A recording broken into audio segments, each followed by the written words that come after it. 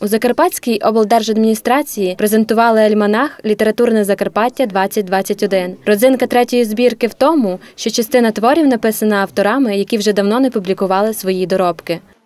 Душу всю видавець вклав у цю книжку, е, і не тільки в цю, у всі книги, які вони видають, вкладають свою душу, тому що ті книги, які виходять у видавництві Олександри Гаркуші, приємно брати до рук.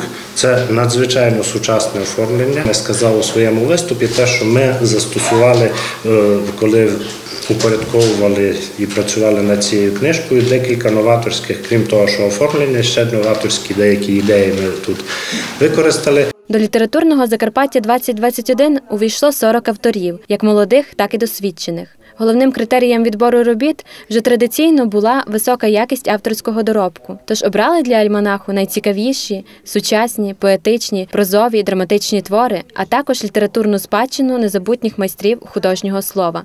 Дуже е, цікаво мені було е, працювати над цією книгою. А для роботи це дуже важливо, коли тобі не нудно і ти е, працюєш із задоволенням. Дійсно, у мене є свої відкриття. Я, наприклад, відкрила для себе письменницю, поетесу Анну Фельцам.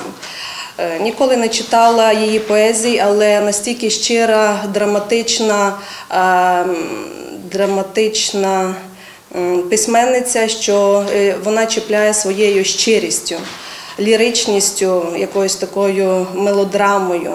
Як і попередні, цей випуск розрахований на широке коло читачів. Літературне Закарпаття 2021 вийшло тиражем 200 примірників, котрі передадуть у бібліотеки області та творчим спілкам. А також видання подали на участь у всеукраїнському рейтингу Книга року.